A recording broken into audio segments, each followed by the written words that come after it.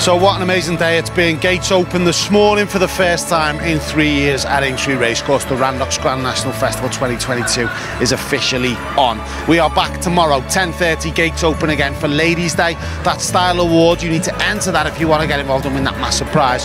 Before two, we announce the winner at four o'clock tomorrow. If you come and just have a ball, enjoy yourself, uh, and don't forget, use the train to every 10 minutes with Merseyrail. We're going to leave you now though with some highlights from day number one here at the Randox Grand National Festival 2022. We'll see you soon. So, gates are about to open, guys. Uh, we've waited three long years for this. First thing, I, I just can't wait to see the jockeys coming down into the, the parade ring for the first race. It's that sort of thing that makes the sort of hair stand up on the back of your neck. Mate, it's good to be back here, isn't it? Oh, fantastic. Three years um, with no racing here. It's absolutely fantastic. The crowds are just coming in now. The weather, it's going to warm up. It's going to be a nice day on Saturday. Yeah, it should be a fantastic three days. That our city comes together to celebrate so well.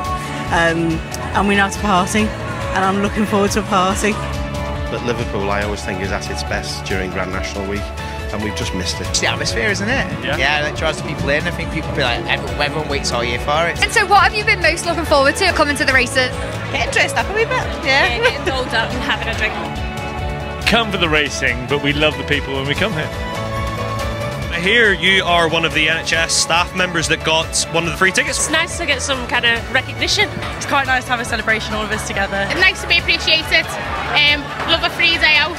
It's nice to see as well, like people sort of like normal life again as well. This is like epitome of that, you know what I mean? I think the Grand National is great because it brings everyone in Liverpool together. I think it is very much a Liverpool thing.